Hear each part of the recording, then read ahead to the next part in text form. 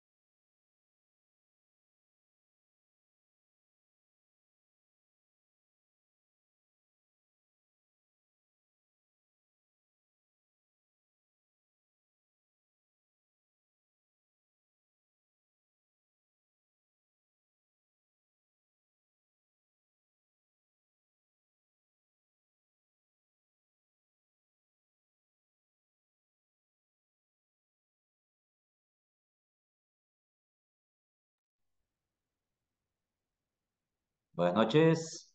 ¿Qué tal? ¿Cómo estamos? Buenas noches, muy bien, gracias. Ya estamos listos. Hoy sí había tarea, no me pueden decir no había. Buenas noches. Buenas Noches. noches. Sí, había tarea. El último que esté conectando es el que va a iniciar.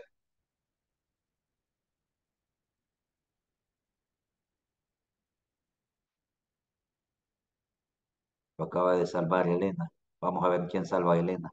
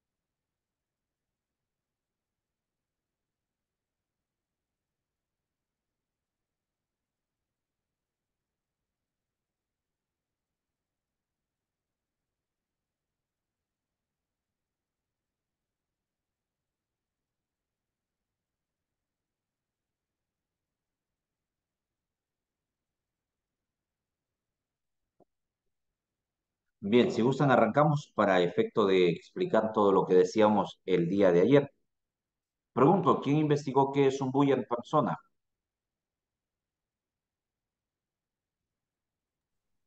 Mm, Yo, Díganos, Glenda, ¿qué es un bully en persona?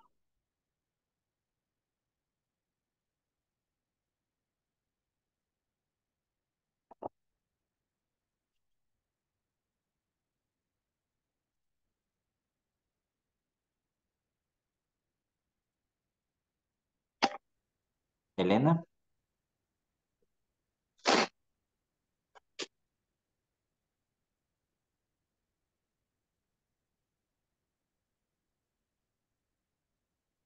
Díganos, Elena. Yo, eh, Miguel. Buenas noches. Buenas noches, vamos. Se me Aló. Yo, ella. Son Permítame. repre- ella o yo, Miguel. Creo que sepan, Elena ya no, ya no nos dijo. Vamos, Claudia, dígame, dígame. Según lo que leí en lo, en lo, en el, en lo que estamos leyendo, ahí dice que son representaciones semificticias de nuestros clientes ideales. Ok, gracias. ¿Qué más leímos? sí, Eh, yo estaba leyendo eh, sobre eh, lo que le decía de una descripción como detallada de la persona que queremos o nos gustaría que fuera nuestro cliente. Y había encontrado como un ejemplo de la bebida que nos encanta a todos, la oscurita, que Ajá, decía que ellos se centran y se enfocan más que todo en, en consumidores y personas alegres que disfrutan de bebidas azucaradas. Entonces como que van este, que les gusta la convivencia y todo eso. Entonces, se centran como en ese cliente ideal y van como enfocando su, su, publicidad, ¿verdad? A ese tipo de personas, es de, de producto. Entonces, hacer como una descripción detallada, hablaba también de determinar todo sobre el cliente, desde su situación laboral, familiar, ver, por ejemplo, datos demográficos, hablaba su comportamiento en Internet, lo que nos- usted también nos ha dicho en varias clases. Eh, definir también lo que es las eh, preguntas, hablaba de preguntas de acción y como también ya la marca va un poquito más allá, ponerse como en el lugar del cliente, ¿verdad? A usted como cliente que le gustaría, entonces como, como indagar todas esas cosas para poder crear como que el cliente ideal. sí. Gracias, Glenda, muy amable. ¿Quién más nos quiere agregar? Yo había leído, no sé si se me escucha. Hoy sí, hoy sí, Elena. Hace un momento no le escuchábamos. Las disculpas del caso. Ok, este, yo había leído, eh, bueno, yo solo vi el ciclo pasado, antepasado, que era buscar quién, para qué y cómo. Eh, como decían los compañeros, sacar la descripción de hacia quién va dirigido el producto, este, para qué o cuáles son las, nuestras inten- intenciones de, de atraer ese cliente y cómo, por qué medio lo voy a hacer. Eso fue lo que yo he leído y me dio recuerdo. Ok, excelente. Gracias, Elena. ¿Alguien más que nos quiera compartir?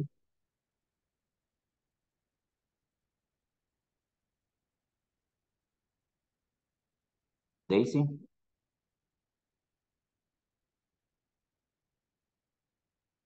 Buenas noches. buenas noches. Ingresando porque no había podido ingresar, me daba error. Pero están hablando del buyer Cualquier person. persona, sí.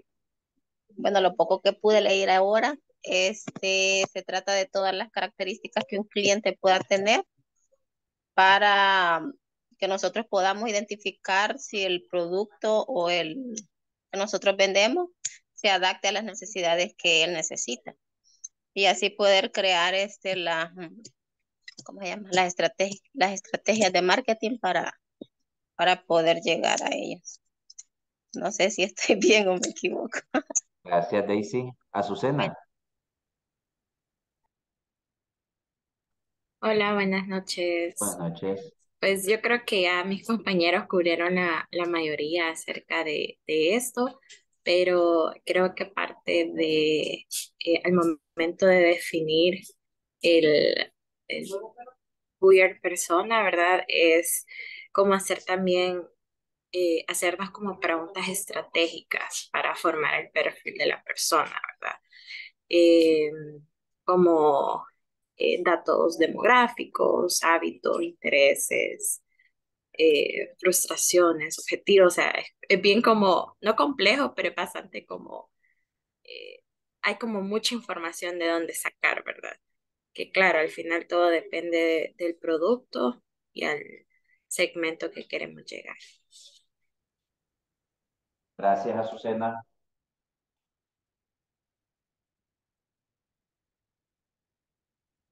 Veamos la última, Fátima.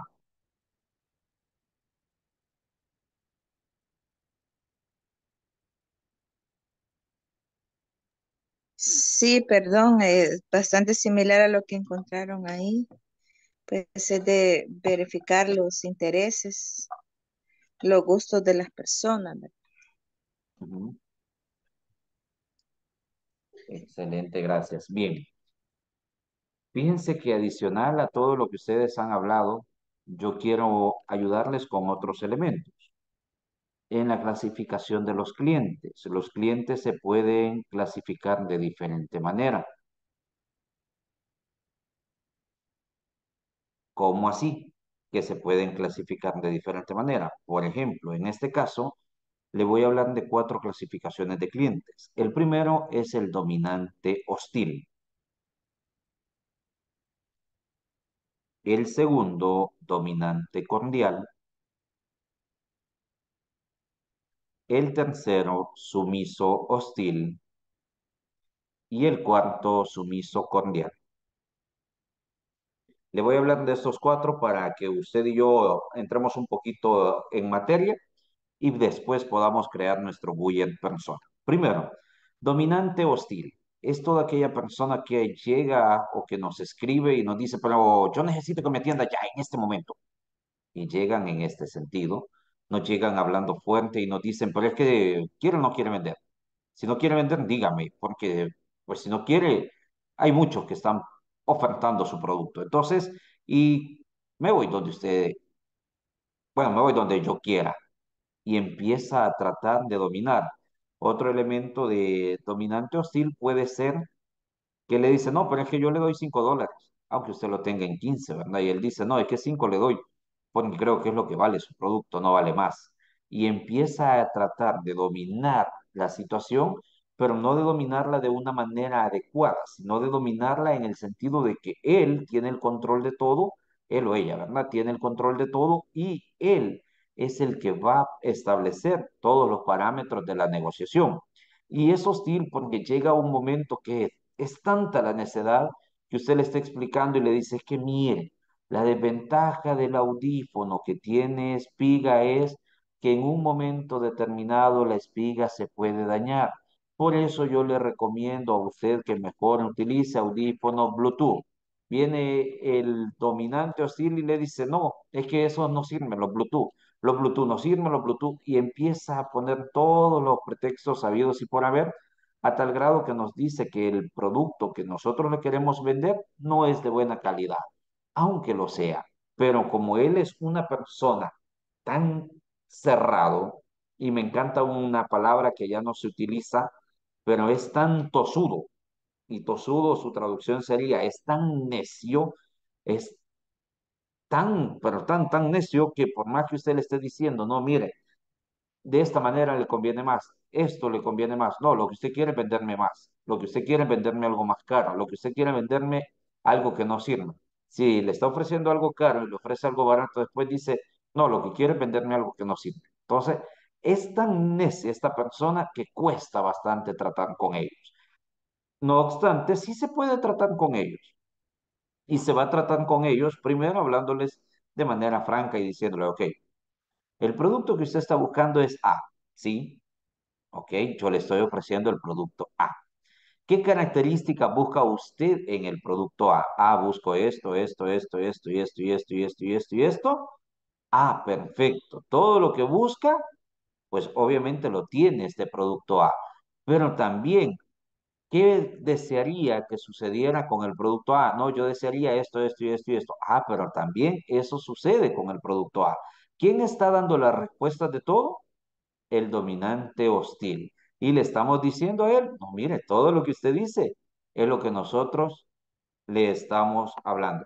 Fíjese que no sé a qué se debe, Juan. Eso estaba leyendo por ahí, que hay problemas para el ingreso. A mí me costó ingresar también. Me he dado como un error.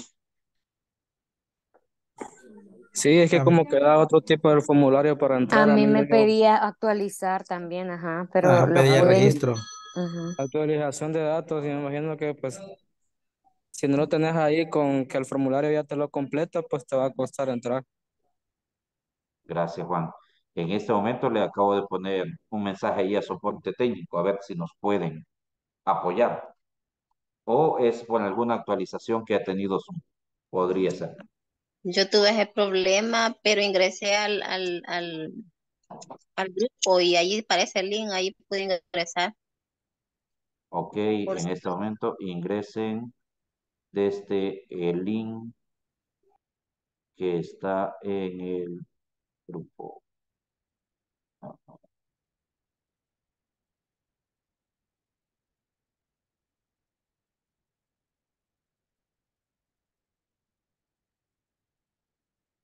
Bien, ya lo pusimos por ahí. Ok, continuemos. Entonces, gracias por los comentarios. Entonces, en este caso, el dominante hostil, dijimos, le vamos a hablar francamente, vamos a dejar que él nos dé las respuestas y todo va a ser un poquito más fácil. Siguiente elemento, o el siguiente tipo de cliente, el dominante cordial. Él siempre quiere que usted le atienda de la mejor manera. Primero, por ser dominante. Él quiere que si es posible, aunque haya una fila larga, él ser el primero en pasar. Por ser dominante. Aunque si usted le dice, no, mire, fíjese que están esperando 15 personas antes que usted, ah, no tenga ningún problema, puedo esperar. Y logra tener esa paciencia y espera. Otro elemento del dominante cordial es que él busca el hecho de ser reconocido, de que usted le diga, ah, Elena, mucho gusto, ¿qué tal? ¿Cómo está Elena? Y si usted no se recuerda del nombre de Elena, es, mm, qué raro, y esto que yo le compro todas las semanas, y no se acuerda de quién está hablando.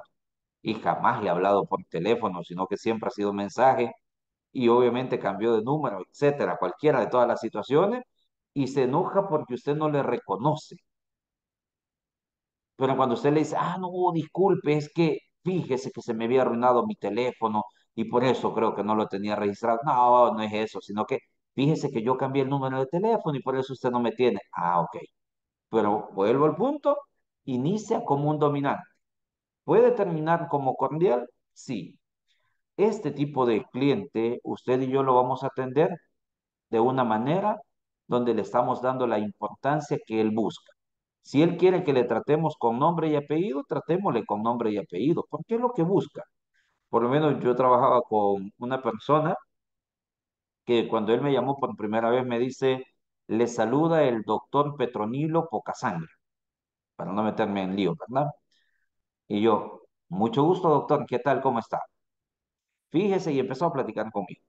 La cosa está que él mencionó tanto el hecho de que era el doctor, que en una ocasión yo le digo, buenas tardes, don Petronilo. ¿Cómo me? Perdón, doctor. Cuando entendí en ese momento que si yo no le decía doctor a él, se cerraba toda la negociación. Obviamente se imagina lo que hice, ¿verdad? Doctor, buenas tardes, doctor. ¿Qué tal, doctor? ¿Cómo está? Doctor, mire, doctor, mencionaba más el título doctor que cualquier otra situación. ¿Por qué? Porque es lo que él le gustaba. Él le gustaba dominar la situación y decir, yo tengo el control. Y como él tenía el control, pues obviamente él terminaba adquiriendo lo que yo estaba ofertando en ese momento. Eso sería a grandes rasgos el dominante cordial. Viene el siguiente, sumiso hostil. El sumiso hostil hace referencia a una canción muy famosa de la persona influyente. Yo soy la cuñada, la no sé qué, del gobernador. La han escuchado, ¿verdad? Se las dejo de tarea, que la busquen. No la puedo poner acá, pero busquen. La influyente, algo así se llama la canción. Pero esta canción es interesante porque hace relación a esto. La persona sumiso, hostil, es muy bueno, de verdad que es muy bueno. Pero esta persona llega con el punto, ¿sabe usted quién soy yo? Yo soy Miguel Cruz. Y soy Miguel Cruz el que facilita temas de, y por lo tanto le pido que a mí me trate diferente. ¿Sabe usted que yo conozco a quien le vende a usted el producto? Si usted no me trata adecuadamente, voy a decirle que ya no le vende el producto. Y empiezan a hacer alusión de quién son, de qué tan grande tienen el cuello, de con quiénes se relacionan. Y llega un momento que de ser sumiso pasa un momento de ser alguien hostil, alguien que nos desespera y alguien que decimos, no, ¿sabe qué? Va y póngale queja, pues. El problema está que a veces es cierto, conocen a alguien importante y nos puede afectar. Por lo tanto, como recomendación, nada, no se puede, dicen, permítanme. Buenas noches, Ernesto, buenas noches a todos, permítanme. Carolina.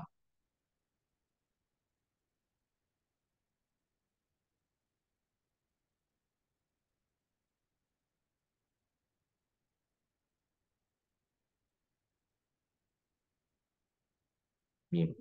Entonces, En este caso, el sumiso hostil es esa persona a la que vamos a tratar de la manera adecuada. ¿Por qué de la manera adecuada? Si nos dice que conoce al presidente, digámosle mucho gusto, bienvenido, qué privilegio que usted conozca al presidente, nos alegra tenerle acá como cliente, la, la, la, la, la, la, la, y tratémosle en el nivel que él quiere que le estemos tratando, sin ningún problema. Después de ello viene el sumiso cordial. Todos, todos, sin excepción a la regla, sé que nosotros somos clientes sumisos cordiales. Sé que usted y yo somos gente que llegamos a algún lugar o cuando estamos hablando con alguien, saludamos y decimos buenos días, buenas tardes, buenas noches, un gusto estar acá con ustedes, un placer estar con ustedes, qué privilegio el que tengo de poder venir a su tienda y comprar. Y llegamos en ese punto de ser personas sumisas, tranquilas. Pero adicional nos dice, mire, fíjese que estamos un poquito ocupados. No, no se preocupe, yo le espero, yo le puedo atender. Tómese su tiempo, ya le voy a... Me atiende cuando pueda. Yo creo que usted y yo somos así, ¿verdad? Que usted y yo somos los clientes sumisos cordial más bellos que pueden haber y que jamás nos enojamos, nos sirvieron la comida fría y le decimos, no, no se preocupe, suele pasar que se enfríe la comida con el aire acondicionado. Cuando nos sirven algo que no hemos pedido, no, no se preocupe, esos errores suelen pasar. O sea, es normal que la gente se equivoque, pues no somos robots, sino que somos seres humanos. Creo que la mayoría somos así, ¿verdad? Con ese nivel de amabilidad. Eso desearíamos. Eso desearíamos. Pero la realidad es que la mayoría de nosotros tenemos como clientes a los dominantes hostil. O en su virtud tenemos un sumiso hostil. Rara vez llega a nuestro emprendimiento, a nuestra empresa o a donde estemos, rara vez llega un sumiso cordial. Esos son contados con los dedos.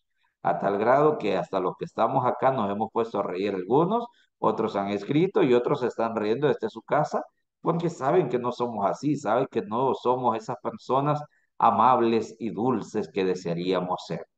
Que si nos sirvieron la comida fría, es para que hagamos un show y empecemos y digamos, no, mira, que por qué me sirven la comida fría, caliéntemela por lo menos. Y empezamos con un punto de discusión por ahí. Actualizan Zoom. Gracias, Claudia. Ok. Entonces, en ese sentido, es los cuatro tipos de clientes. Preguntas que tengan ustedes hasta acá de este tema. Yo quisiera saber, o sea que al final es los cuatro tipos de clientes, es como tratarlos a cada uno como ellos quieren ser tratados. ¿verdad? O sea, nos vamos a encontrar con una infinidad de gente que como usted explicaba, cada ejemplo es como, ah, o sea, que todos quieren ser tratados le dicen cómo tratarlo, ¿vea? Si al doctor le dice que a usted le gusta que le diga doctor, pues entonces a él le va a decir doctor. Si a la otra le dice que porque es la cuñada del presidente, entonces la va a tener que tratar como ellos. O sea, uno va a tratar al cliente como ellos les, les guste que uno los trate. Usted va a ir conociendo y como detectando eso, algo así, ¿verdad? Es allí donde decimos que el cliente siempre tiene Él la tiene razón. la razón. En Ok. realidad no, le vamos a hacer creer que él tiene la razón. Ejemplo Pero del dominante hostil que poníamos, él tiene la razón. Él me empezó a decir el producto, él me empezó a decir las características. Al final son todas las características que tiene el producto. Pero él cree que él tiene la razón en todo. Dígame, Claudia. en ese tipo de personas que dicen ser familiares, primos, hermanos de, de- o conocidos de, de, de jefes o qué sé yo, ese tipo de personas siempre quiere cosas que a veces no se pueden dar. Entonces, eh, son personas que al final son problemáticos a morir, porque si usted no le da el servicio o lo que ellos quieren solo porque son familiares o que conocen a fulanito de tal, hacen alzar la voz hasta donde puedan. Sí, gracias. Y son los elementos donde nos toca lidiar con ellos y saber cómo tratarlos. O sea, vaya, por ejemplo, en el caso suyo, Claudia. No, mire, yo desearía que la propiedad tuviera siete habitaciones, pero en este caso esta propiedad que estamos viendo solamente tiene cinco. Si usted gusta, yo le enseño una propiedad un poquito más arriba que tiene las siete habitaciones que usted está buscando, los siete baños, los siete, ya, y le Ah, buscar eso. Pero en en ese, estas, dígame, perdón, pero en ese caso, Miguel, perdónenme que lo interrumpí. Este, para eso yo tengo unas preguntas antes de, porque a mí es gasto salir a, porque hay propiedades que están en San Miguel, hay propiedades que están en Santa Ana. Entonces es un gasto y caminar tan lejos y a veces solo por ir a mostrarlas, o sea, no es, no todos los clientes que ven las propiedades compran. La compra. Entonces hay, hay una serie de preguntas que hay que hacer antes de salir de la casa corriendo a mostrar la propiedad. Gracias. Y en esa serie de preguntas es que viene el buyer en persona que vamos a ver de acá en adelante. Gracias, Claudia. Bien, ¿alguien más? ¿Comentarios? ¿O nos quedan claros los cuatro tipos de clientes? Sí, Sí, ok. Me alegra. Yo espero que usted sea el último tipo de cliente, el sumiso cordial. Usted. Yo seguiré siendo el que no se clasifica ahí porque yo soy súper amable siempre. No se rían, pues. Nadie creyó. Bien. Entonces, en persona. En marketing en persona, ¿qué es? Dice que son representaciones semificticias de tus clientes ideales. Nos ayudan a definir quién es, quién es la audiencia a la que queremos atraer y convertir. Y sobre todo nos ayuda a humanizar y entender con mayor detalle a este público objetivo. Entonces, ¿cómo clasificamos a un buyer persona? Primero, como bien lo explicaba por ahí Elena, si no estoy mal, si no mal recuerdo, Elena decía que lleva tres elementos. El primer elemento, ¿quién? Veamos en este caso el ejemplo. Nombre del buyer persona, ¿quién? La persona se llama Raquel. Raquel pertenece al Departamento de Recursos Humanos. Su perfil general. Ella obviamente tiene un trabajo. Su trabajo es ser la jefa de recursos humanos. Su historia.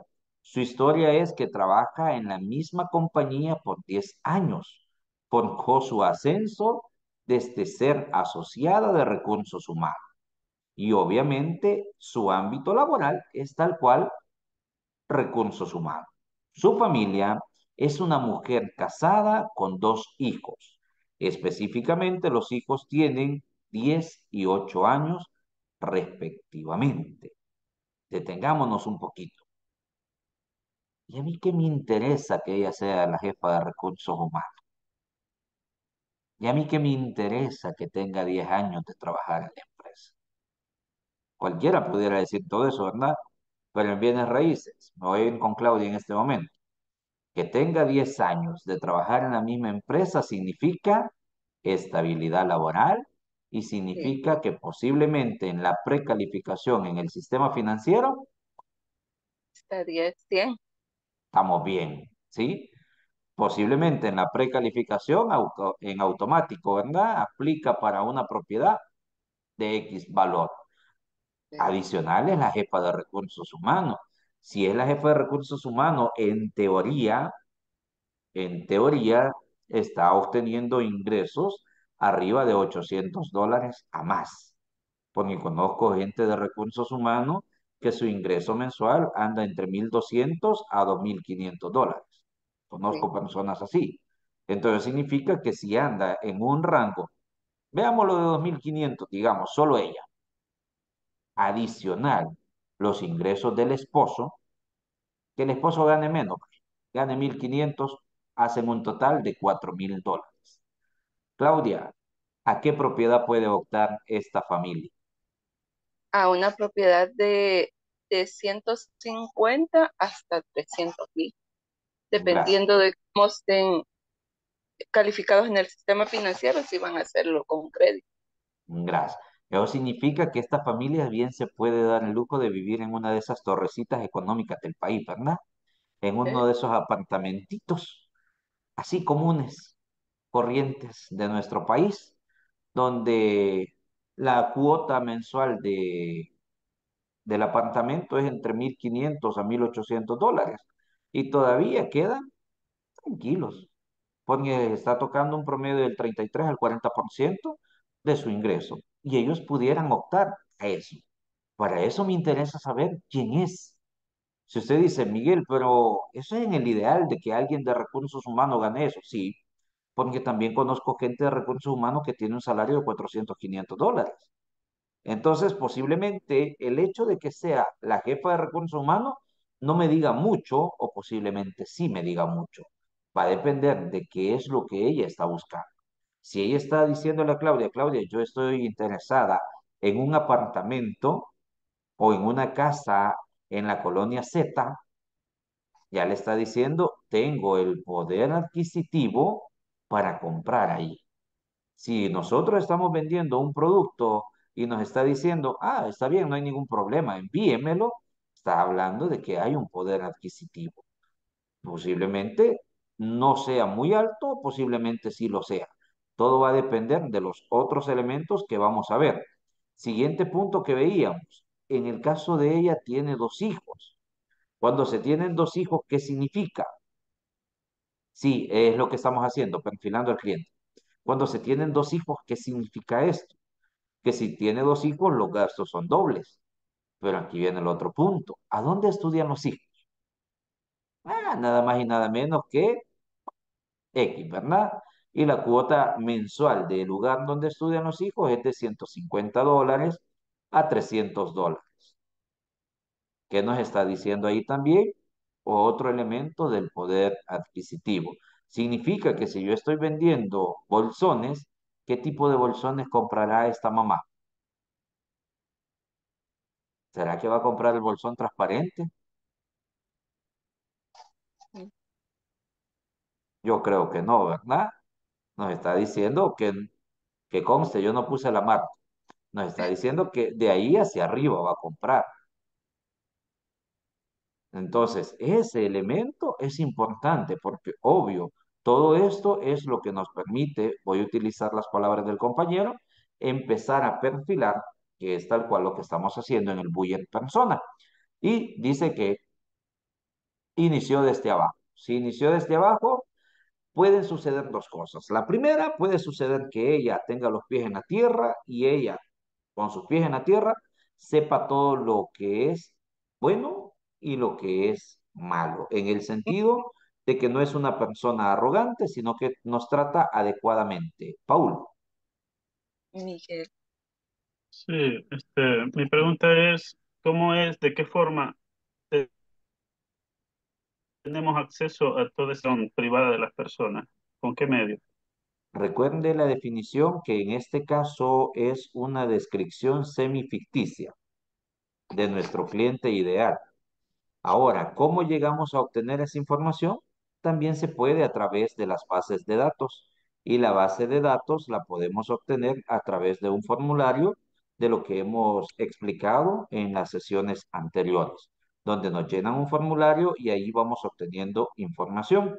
Y si de, va, va a depender del producto que estamos vendiendo, posiblemente yo hago un poquito más de investigación y si me brindó su red social o a través de su red social llenó un formulario, posiblemente tenga acceso a parte de la información que aparece en la red social. Y ahí estamos haciendo ya una investigación puntual de este cliente. De esa manera sería por. Muy bien, gracias. Para servirle. Claudia. Miguel, pero fíjese que a veces uno se puede dar en los dientes como la expresión coloquial, ¿verdad? Eh, me pasó hace poco que con una colega le mostramos una propiedad de, de 250 mil a un cliente. Cuando llegó la persona, una camiseta en jeans, en chanclas y el pelo suelto, era un hombre. De ahí se hizo una cola y mi colega, yo mostré normal, yo dije, porque ya me he topado con gente que hasta dice, no, de 150 quiero la casa, y tienen hasta 500 mil para comprar una casa. Y yo igual, ¿verdad? Igual lo traté igual como a todos mis clientes. Ah, hubo un momento que me dijo, voy a desayunar con usted a las 6 de la mañana en Santa Tecla, llegué a tal lugar. Y mi colega solo me volvió a ver y me dijo, mira, valora bien si vas a ir. No, le dije, no hay problema. Y así llego. Cuando llegué en la mañana, a las 6 de la mañana, todavía me tocó esperar a que abrieran el restaurante. Y yo madrugué desde las 4. Eh, llegó la persona. Eh, yo no le había preguntado qué hacía y todo eso. Iba con su traje de médico. La persona era un médico con dos clínicas, un laboratorio, una empresa de vehículos que vende vehículos y el poder adquisitivo de él era muy poco. Así que uno se puede equivocar pensando que el señor que llega con el saco y todo roto no tiene ni cinco centavos. Y puede ser que en ese saco que lleva, lleva toda la tanatada de plata. Sí, por eso es importante, gracias Claudia por el ejemplo, es importante clasificar más no etiquetar. Yo puedo clasificar, pero nunca voy a etiquetar, porque es una historia que siempre se ha contado en el punto de marketing, que los señores del campo llegan con su morralito, pero el señor del campo llega con su morralito y ahí lleva sus billetitos. Veía un día en la zona de Usulután una de esas granquitas pequeñas que solamente tenían un promedio de 450 cabezas de ganado. Y se la pregunta obligada, como buen metido, cuánto vale cada cabeza de ganado. Y me decía, de esa marca, así me dijo la persona que iba conmigo, molestándome, y me dice, de esa marca, y luego, ya, sin bayucadas, no, de esa raza, de esa raza, anda en un promedio de mil a dos mil dólares cada vaquita de esas que va pasando aquí enfrente de nosotros, vale eso. Y cuando le digo que eran más de 400, de verdad, sin mentirle, estuvimos casi media hora esperando a que pasara todo el ganado. Y nadie se atrevió ni tan siquiera a tratar de acelerar o algo, ¿verdad? Porque hasta donde yo sé, esta familia es una familia un poco pudiente en Usulután y ahora lo llevo a relacionar económicamente. Si usted multiplica, digamos que eran 400 por mil dólares que costara cada una, eso significa que esta persona solamente en esas cabecitas de ganado tenía 4 millones de dólares. Si la daba mil dólares. Mande. Ya no valen eso, valen como 10 mil dólares cada vaca. Gracias. así por la actualización. ¿Ya? Ahora, imagínese cuánta plata tiene esta gente. Que a veces nosotros decimos, ah, es del campo. Es del campo, pero venden un par de vaquitas y ya salieron de cualquier pobreza. En cambio, usted y yo, ahí dejémoslo. Continuemos con el budget persona, por favor. Información demográfica. Edad, salario, ubicación, sexo. En, el, en este punto, obviamente es una mujer a quien le estamos vendiendo. Tiene una edad entre 30 a 45 años. Eso significa que por ser mujer y si tiene 30 años, significa que en el sistema financiero perfectamente le dan una propiedad a 30 años plazo significa que puede optar a una propiedad aún arriba del valor normal porque tiene los años para poder pagarlo. Dice que el ingreso promedio de la familia es de 75 mil dólares. Si usted divide los 75 mil dólares que gana esta familia entre los 12 meses, significa que mensualmente ellos solamente ganan 6.250 dólares. Nada, ¿verdad? Eso significa que esta familia sí puede optar perfectamente a una propiedad arriba de los 300 mil dólares. Y significa que obviamente esta gente tiene un muy buen poder adquisitivo. Pero fíjese algo interesante, que ellos viven en un suburbio. No viven en una casa de acorde a su ingreso. Y esto es lo que en ocasiones nos da también un punto donde decimos, si a dónde vive, si vive en los tres pollitos, para no hacerle mala fama a ninguna colonia, si vive en los tres pollitos, y ahí qué poder adquisitivo tiene. Usted no sabe si vive en la casa de los tres pollitos para disimular. Uno de mis jefes, para mí es interesante el caso de él, él anda un Peugeot 206, año 2006. Precio de mercado de ese vehículo, 3.500 a 5.000 dólares. Poder adquisitivo, su ingreso mensual en salario era de 8.500 dólares sin contar el ingreso de Estados Unidos.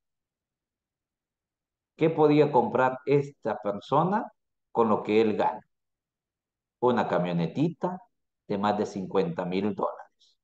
Que se sacrificara seis meses de no comer y compraba una camionetita al contado. Y usted lo ve a él en ese carrito, en su Peugeot 206, año 2006. La mayoría de nosotros diríamos, está viejo el carro. ¿Por qué es tan que no compra otro? Simplemente prefiere pasar desapercibido y vivir como lo conocemos en un bajo perfil. No significa que siempre se va a mantener allí. Esta persona de la que estamos hablando, la persona ficticia, el buyer persona, ella permanece en un bajo perfil, pero posiblemente porque está ahorrando toda la plata que puede para ir y comprar de contado.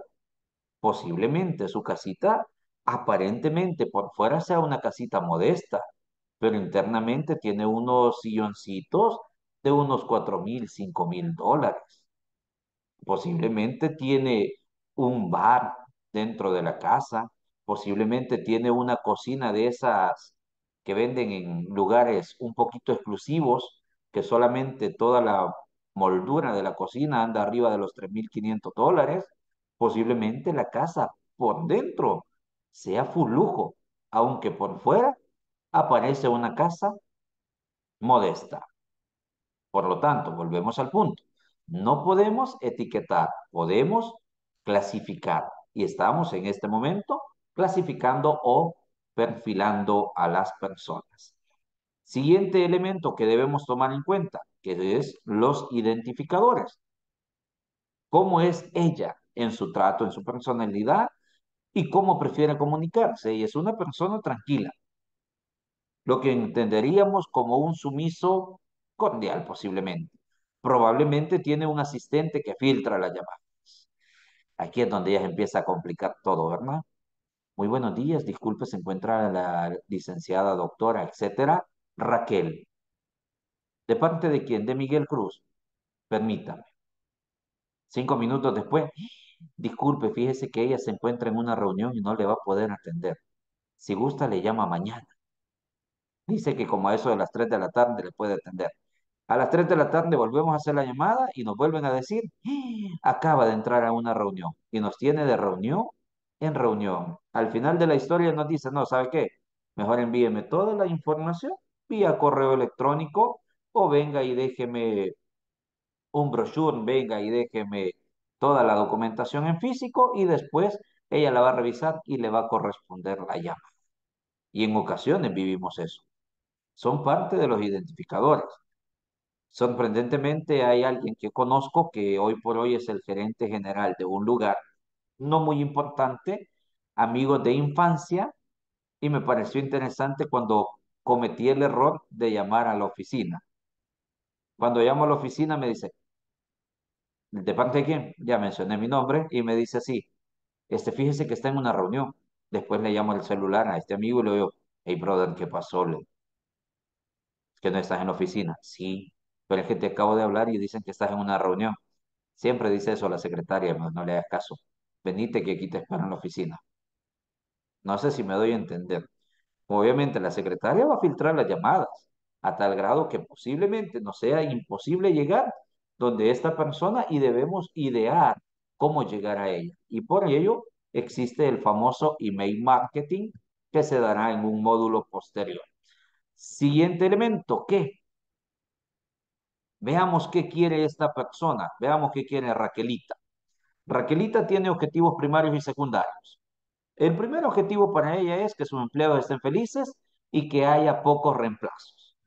Alguien de recursos humanos me entenderá perfectamente que lo más horrible que puede haber es esto de los reemplazos, la rotación de personal es de lo más horrible que puede haber. Están contratando personas es de lo más complicado. Que se despide Juan, hay que contratar a Pedro, se despide a Pedro, hay que contratar a Anacleto, hay que contratar y estar en esta dinámica de despedir a la gente y contratar es de lo más complicado y más desgastante que puede haber para una empresa. Por lo tanto, Raquel, ella busca que todos sus empleados o sus compañeros de trabajo estén felices. Y puede estar felices haciéndoles actividades. Por ejemplo, como es de recursos humanos, le celebra el cumpleaños trimestralmente. Ahí entra Glenda y dice, nosotros tenemos este producto. También puede ser que como le gustan las que sus empleados estén contentos, los lleva a algún lugar de capacitación, algún balneario, etcétera, y obviamente está en esta dinámica investigando siempre, y es ahí donde usted y yo tenemos la oportunidad de entrar y ofertarle nuestro producto y ayudar a su equipo financieros y legales. Esto permite que obviamente todo el equipo de trabajo esté feliz. Y si todo el equipo de trabajo está feliz, ella tiene una paz y una tranquilidad y no vive el estrés habitual. Retos. Ella igual tiene retos primarios y secundarios. Tiene muchísimo trabajo y tiene poca ayuda. Esto lo vive la gente de recursos humanos. La mayoría dice que no pasan haciendo nada, que solo pasan enfrente de una computadora y con un montón de papeles en su escritorio. Y pasan descansando sin hacer nada. Hay aquí alguien que es administrador de una institución y por eso lo estoy molestando también. ¿Verdad, mi estimado? No hacen nada. Enfrente de una computadora con un escritorio grande donde le caben un poquito de papeles, pero pasan tranquilos. Eso es lo que piensan todos pero ellos están haciendo infinidad de trabajo y en ocasiones no tienen a alguien más que les esté apoyando. Es una persona responsable de implementar cambios en toda la compañía. Esta persona, en caso de Raquel, es la que va a hacer que todo funcione o que todo se vaya a pique. Por lo tanto, es necesario que Raquel esté en un constante aprendizaje y en un constante movimiento. Entonces, ¿cómo podemos ayudar a Raquelita para que ella esté feliz y pueda salir de todo? Primero, facilitar y centralizar la administración de la información de sus empleados. Yo soy desarrollador de software. ¿Qué hago? Voy donde Raquelita y le digo, Raquelita, fíjese que yo le traigo un proyecto buenísimo. El proyecto que yo le traigo es que usted pueda tener toda su información de sus empleados en un solo lugar. A tal grado que cuando yo le digo eso a ella, Raquelita queda contenta y dice, gracias Miguel, demuéstremelo y si funciona, ya la hicimos. Y Raquelita queda contenta del producto o servicio que yo le estoy ofertando. Un ejemplo de esto. No sé si se logra distinguir. Mal contraste.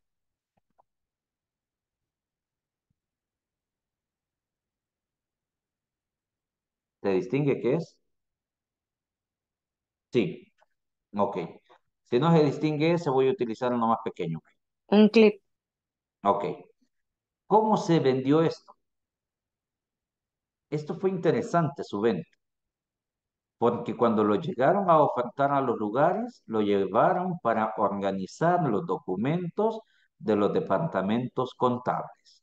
Donde llegaban y le decía, usted necesita de nuestro material para que usted pueda clasificar y organizar sus documentos. Y le hacían la demostración. Es tan insignificante, pero si usted supiera los millones de dólares que venden, a tal grado que le pusieron color, a tal grado que lo han hecho de diferente diseño, y usted y yo hasta hemos hecho corazones con estos clics y otras figuras, ¿verdad? ¿Por qué? Porque obvio se logró vender muy bien. Es una forma de ayudar. ¿Qué producto tiene usted que ayudaría a Raquel? Piénselo en este momento. Integración con los sistemas de equipo financiero y legal, lo que hemos estado hablando, del desarrollo en el punto de tecnología. Y el tercer elemento, ¿por qué? Comentarios. Ejemplo de comentarios reales sobre sus retos y objetivos. En el pasado ha sido difícil adoptar nuevas tecnologías en toda la compañía. Si esto nos lo está diciendo Raquelita, significa que yo tengo que desarrollar un software que sea full amigable. Amigable para que tanto ella como todos los demás que vienen puedan utilizarlo. No tengo tiempo para capacitar a nuevos empleados. Esto se suele dar también porque es un problema constante donde las empresas no pueden estar capacitando a los empleados, sino que las empresas necesitan que alguien más de todo el proceso de inducción. Y en ocasiones se puede utilizar de los mismos empleados o en ocasiones usted y yo desarrollamos el área administrativa y decimos, no se preocupe, yo le voy a crear el manual de funciones para su empresa. Y en el manual de funciones va a ser tan detallado que el empleado lo va a leer y ahí es la capacitación sin necesidad de nada más. Solamente va a llegar a hacerle una evaluación y se acabó el proceso de capacitación. Una oportunidad de empleabilidad para nosotros y para ella también. Ha tratado con tantas integraciones difíciles con bases de datos y software de otros departamentos. Todo eso lo podemos resolver. ¿Cómo lo resolvemos? Le decimos a Raquel, Raquel, no se preocupe. Yo hago toda la inducción, yo hago esto y adicional, yo le ayudo a través de un monitoreo virtual para que usted no tenga ningún inconveniente. Quejas comunes que tiene Raquel. Me preocupa aprender información al hacer la transición a un nuevo sistema. Y este nuevo sistema entiéndase en todos los sentidos, no solamente en el ámbito informático. Es que yo ya tengo un proveedor, yo ya tengo quien me vende las galletas, yo ya tengo quien me vende el pastel. Y que nos acepte a nosotros como primera vez, posiblemente nos va a costar, pero no significa que no podemos lograr que nos acepte. Y por último dice, no quiero capacitar a toda la compañía para que aprendan a usar un nuevo sistema. Es donde usted y yo debemos cortar todas las barreras que Raquel nos está poniendo y poder decirle a Raquel, Raquel, nosotros estamos dispuestos a apoyarle en todos los procesos a tal grado que usted no tenga ningún inconveniente al momento de ejecutar los proyectos que nosotros le estamos ofertando. Y por último elemento, ¿cómo? En este punto del cómo es donde ya se vuelve importante los mensajes que estamos haciendo en marketing. Es la administración integrada de la base de datos de recursos humanos. Mensajes de cómo puede transformar su departamento, de cómo puede aliviar su carga diaria y cómo ella va a obtener más beneficios y por ende el mensaje de venta. Te ofrecemos una base de datos intuitiva que se integra con tu software y plataformas existentes y capacitación ilimitada para ayudar a tus nuevos empleados a ponerse al día rápidamente. ¿Cuánto tiempo le llevará a la empresa a hacer esto? Posiblemente muy poco tiempo. Pero eso Raquel no lo sabe y por lo tanto necesitamos usted y yo mencionarle las virtudes que tiene nuestro producto, nuestro servicio. ¿Alguna pregunta que ustedes tengan hasta este momento?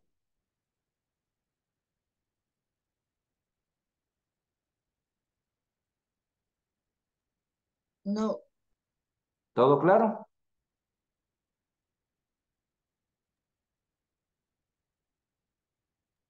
hasta el momento sí.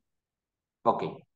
Si todo ha quedado claro, significa que yo le dejo a usted la siguiente tarea.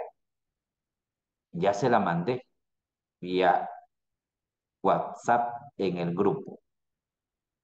¿Qué me va a hacer usted? Me va a hacer el buyer persona de su emprendimiento, de su empresa, de donde usted está. Glenda no está en el grupo. Escríbame, porfa, Glenda, y se lo envío en este momento. Solo escríbame un hola y se lo reenvío.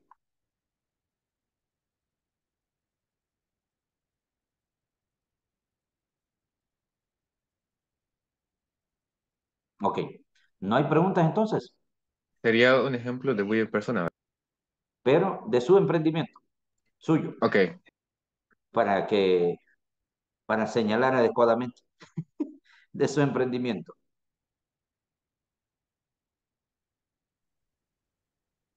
Este, Miguel, y en el, en el caso que, que nos enfoquemos no con personas naturales, sino con sociedades. Vaya, el caso mío, el emprendimiento es tecnológico y por lo general, este, digamos que serían para el departamento de informática de las empresas. Entonces, esto me, me imagino que aplica igual, ¿verdad? Pero no sé de qué forma, Por o sea, ejemplo, me siento algo enredada. ¿quiénes, quiénes son sus clientes? Por ejemplo, usted me acaba de decir, es a nivel de empresas. Ajá, Significa que usted trata con empresas, sí, pero en esta empresa hay un fulano, una fulana con la que usted trata. Por lógica, tiene que ser un informático. sí, correcto. Desde ahí empezamos a perfilar. Y este informático normalmente, como es? La mayoría que están en el departamento de informática tendrán arriba de los 30 años. La Sí. mayoría. ujú, Significa que si están arriba de los 30 años, posiblemente están casados. Si ujú, están casados, significa que posiblemente tienen hijos.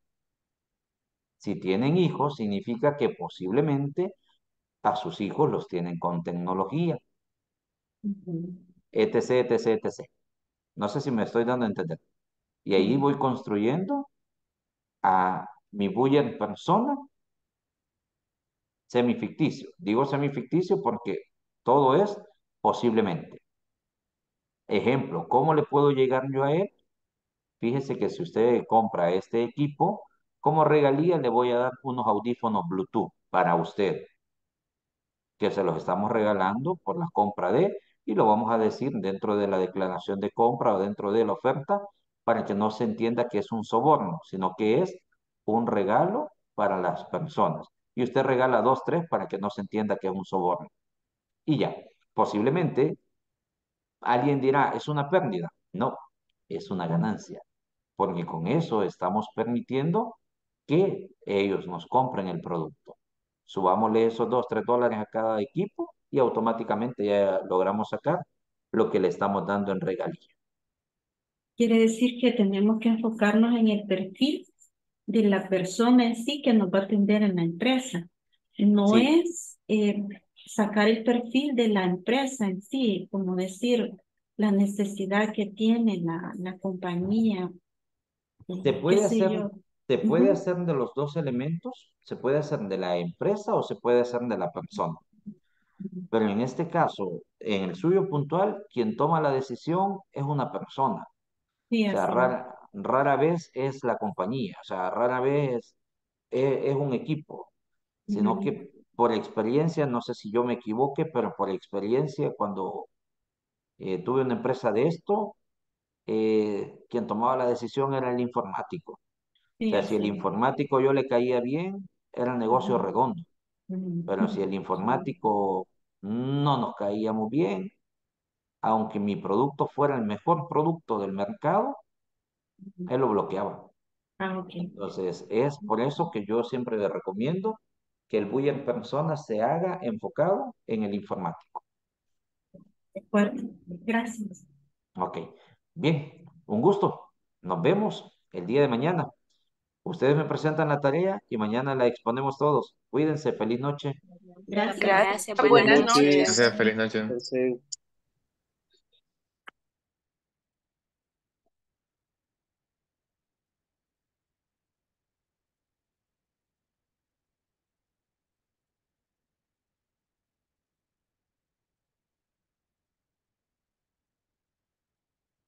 Feliz noche.